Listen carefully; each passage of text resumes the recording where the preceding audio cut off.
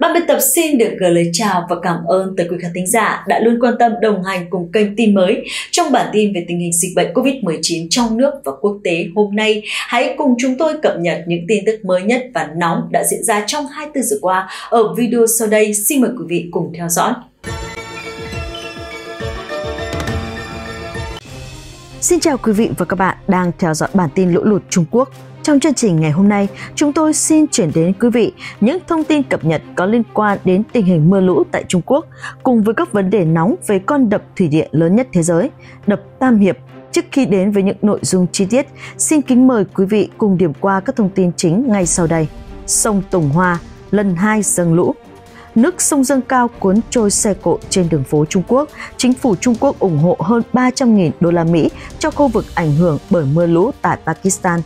Lễ hội thu hoạch của Trung Quốc đánh dấu vụ mùa bội thu đầy khó khăn vì mưa lũ. Kính thưa quý vị, tưởng chừng như những trận bão, lũ lớn của mùa hè đã trôi qua và mùa mưa đang dần chấm dứt để nhường chỗ cho thời tiết khô lạnh thì sông Tùng Hoa, một trong những dòng sông lớn và quan trọng nhất của Trung Quốc đã tiếp tục chứng kiến trận lũ thứ hai trong năm 2023 sông Tùng Hoa tại Đông Bắc Trung Quốc đã chứng kiến trận lũ thứ hai trong năm vừa qua sau khi những trận mưa lớn kéo dài tại khu vực thượng nguồn con sông. Theo hãng thông tấn Tân Hoa Xã, vào lúc 1 giờ 5 phút chiều, mực nước của trạm đo thủy văn tại Cáp Nhĩ Tân, thủ phủ của tỉnh Hắc Long Giang đã đạt mức cảnh báo là 118,3 m. Trung tâm Thủy văn và Tài nguyên nước Hắc Long Giang ngay sau đó đã ban hành cảnh báo màu vàng về lũ lụt. Cảnh báo tình trạng ngập lụt có thể xảy ra tại đoạn Cáp Nhĩ Tân của sông Tùng Hoa. Được biết, hệ thống cảnh báo lũ lụt của Trung Quốc gồm 4 cấp được mã hóa bằng màu sắc, với màu đỏ tượng trưng cho mức độ nghiêm trọng nhất, tiếp theo là màu cam, màu vàng và màu xanh lam. Một khoảnh khắc đầy kinh hoàng mới đây đã được ghi lại tại Trung Quốc khi một đợt sóng chiều cường khổng lồ ập xuống, một con đường đông đúc và dòng nước chảy xiết cuốn trôi hàng chục chiếc xe cộ trên con đường này. Một đoạn clip được lan truyền rộng rãi trên các trang mạng xã hội của Trung Quốc đã ghi lại cảnh một cơn sóng chiều cường khổng lồ đổ xuống một con đường đông đúc dọc bờ sông Tiền Đường tại thành Hàng Châu, miền đông Trung Quốc và lập tức nhấn chìm một hàng xe cộ đang dừng đèn đỏ. Theo chính quyền và cơ quan chức năng địa phương, 7 phương tiện đã bị hư hại vì sự cố nhưng may mắn rằng không có thương tích hay là thương vong nào được ghi nhận với thủy chiều dâng tới gần 10 mét và dòng nước chảy xiết với tốc độ tới 40 km h người dân thành phố cho biết họ đã có thể nghe thấy những tiếng gầm rú của cơn sóng từ nhiều giờ trước khi sự cố xảy ra và nước sông Tiền Đường vẫn tiếp tục dâng trong nhiều giờ sau đó. Được biết, dòng sông Tiền Đường vẫn thu hút hàng vạn khách du lịch mỗi mùa thu. Những người hiếu kỳ tới xem các khoảnh khắc ấn tượng của cơn chiều cường Tuy nhiên, ngay sau khi xảy ra sự cố, các quan chức khí tượng của Trung Quốc đã cảnh báo những du khách này về hiểm họa của việc ngắm chiều cường và nhấn mạnh rằng đây có thể là đợt chiều cường mạnh nhất trong 3 năm gần đây. Vào tháng 8 năm 2013, do ảnh hưởng của cơn bão Chami đạt độ cao gấp đôi so với trung bình thường. Đánh vỡ hàng rào lũ lụt sau đó đã cuốn trôi và làm bị thương nhiều khán giả. Một phái đoàn của Trung Quốc do Tổng lãnh sự quán Trung Quốc tại Karachi, Pakistan, ông Lee Ziban dẫn đầu chuyến thăm Thủ tướng Jabbar Sharif vừa qua đã quyên góp hơn 300.000 đô la Mỹ cho khu vực ảnh hưởng bởi mưa lũ tại quốc gia Nam Á này. Phái đoàn của Trung Quốc do Tổng lãnh sự Trung Quốc tại thủ phủ Karachi của vùng Sri thuộc Pakistan ông Lee dẫn đầu đã có chuyến thăm tới văn phòng Thủ tướng Sabah Sharif vừa qua.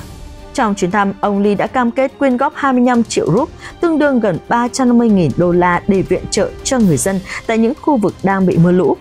Phái đoàn bày tỏ sự tiếc thương sâu sắc về những thiệt hại về người và tài sản trong trận mưa và lũ lụt gần đây ở Sindicat và đảm bảo với Thủ tướng Sanba Sharif rằng chính phủ Trung Quốc sẽ giúp đỡ những người dân bị ảnh hưởng. Thủ tướng Sanba Sharif sau đó đã cảm ơn sự hỗ trợ của chính phủ Trung Quốc và cũng nhắc lại là những khoản viện trợ và hỗ trợ từ Bắc Kinh trong các trận lũ lụt năm 2010 và năm 2011 hàng trăm triệu nông dân Trung Quốc đã khai mạc lễ hội thu hoạch thường niên lần thứ nhất vừa qua với kỳ vọng một vụ mùa bội thu bất chấp ảnh hưởng từ đại dịch Covid-19 và thảm họa mưa lũ kéo dài. Giới lãnh đạo Trung Quốc đã mô tả vụ thu hoạch mùa thu năm nay dự kiến là khó thắng, sau khi nước này phải chứng kiến tình trạng lũ lụt nghiêm trọng ở sông Dương Tử và hạn hán ở miền Bắc cùng với sự gián đoạn bởi đại dịch. Song bất chấp những khó khăn này, Bộ Nông nghiệp và Nông thôn Trung Quốc cho biết sản lượng ngũ cốc vụ xuân năm nay nhìn chung đã được đảm bảo do nỗ lực kiểm soát sâu bệnh tốt hơn dự kiến và sự phục hồi nhanh chóng sau lũ lụt mùa hè vừa qua. Cơ quan này cho biết diện tích hạt vụ đông chiếm phần lớn sản lượng ngũ cốc hàng năm, ước tính đạt 85,6 triệu hecta trong năm nay, tăng hơn 330.000 hecta so với năm 2021. Một bầu không khí lạc quan được bao trùm lên các vùng nông thôn của Trung Quốc, nơi nông dân đang khai mạc lễ hội thu hoạch bằng các bài hát và điệu múa, triển lãm sản phẩm, lễ hội hóa trang và lễ trao giải cho nông dân có thành tích tốt nhất tại thành phố Vận Thành của tỉnh Sơn Tây miền Bắc Trung Quốc, địa điểm chính của lễ hội thu hoạch năm nay. Nông dân và doanh nhân từ 9 khu vực cấp tỉnh của lưu vực con sông Hoàng Hà đã tham dự các hoạt động theo chủ đề nông nghiệp và quảng bá sản phẩm của họ tại các cuộc triển lãm. Ông Xi Jiaogu, chủ tịch của một công ty chế biến kê có trụ sở tại Sơn Tây cho biết, nông dân trồng kê đang kỳ vọng một vụ thu hoạch tốt nhất trong thập kỷ vì tỉnh này không bị ảnh hưởng bởi các đợt thiên tai lớn trong năm nay. Trong khi đó thì ông Gai Yongfen, một nông dân ở tỉnh Hắc Long Giang, Đông Bắc Trung Quốc đã giành được danh hiệu vua đậu nành Hắc Long Giang trong một buổi lễ ở thành phố Furin.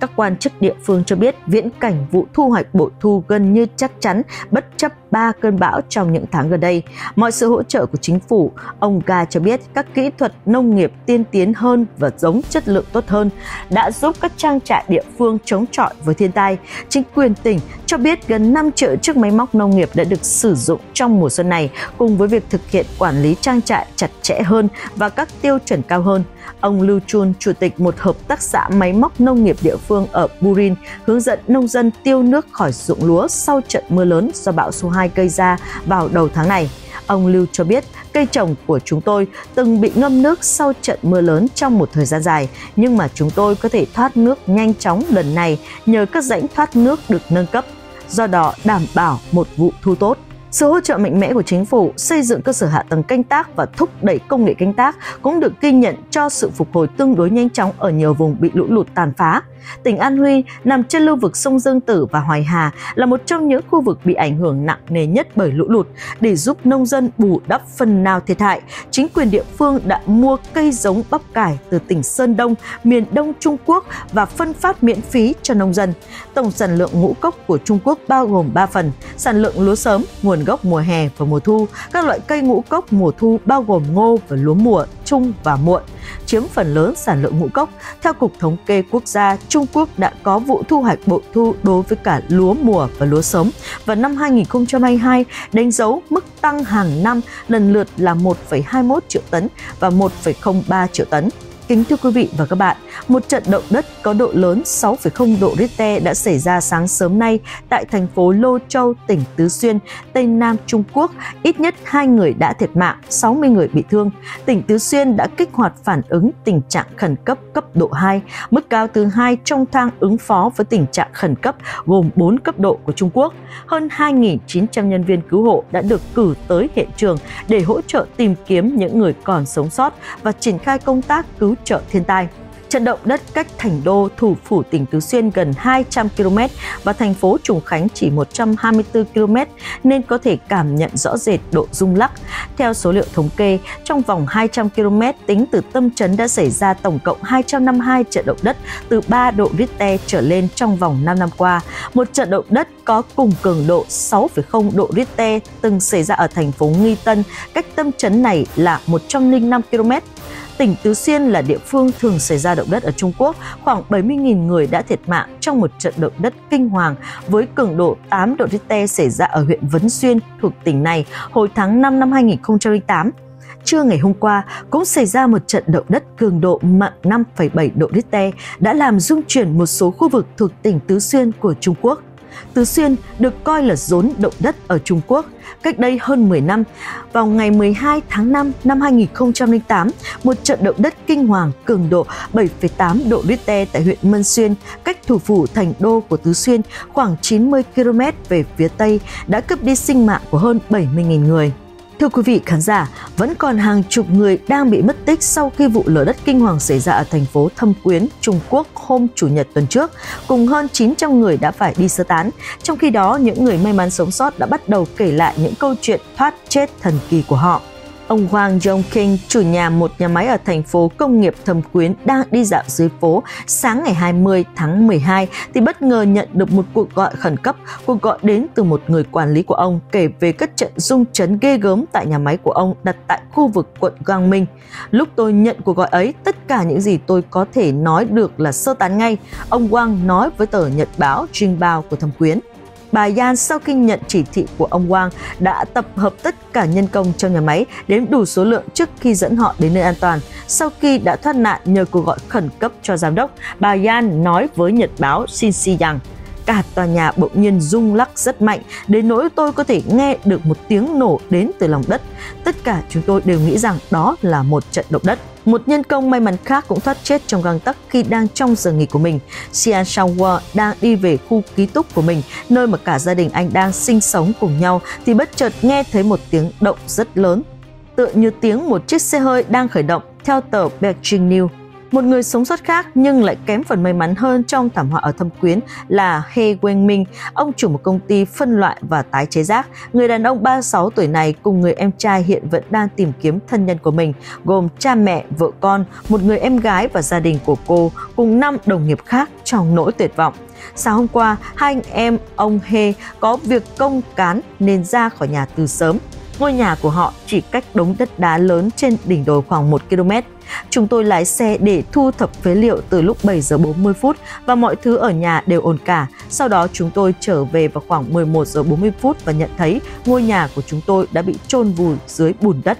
lớp đất đá và sắt thép cao đến hơn 4 mét khiến chúng tôi không thể nhìn thấy phần mái nhà. Ông Hê nói với tờ Global Times. Thông tin vừa rồi cũng đã kết thúc bản tin về tình hình lũ lụt tại Trung Quốc của tin mới ngày hôm nay. Để cập nhật và theo dõi những thông tin mới nhất cũng như là các thông tin quan trọng về tình hình lũ lụt trong khu vực thì quý vị đừng quên like, share và đăng ký kênh tin mới. Xin chào tạm biệt và hẹn gặp lại quý vị trong các bản tin tiếp theo.